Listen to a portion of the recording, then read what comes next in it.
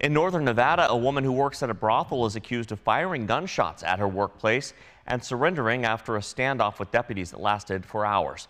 Investigators say 28-year-old Savannah Henderson got into an argument with a coworker last night at the Moonlite Bunny Ranch and opened fire. Deputies say Henderson hid in a room inside the brothel while deputies evacuated the business. Nobody was injured. Henderson did eventually surrender and was taken into custody, and she's facing counts including drug and weapons charges and resisting arrest.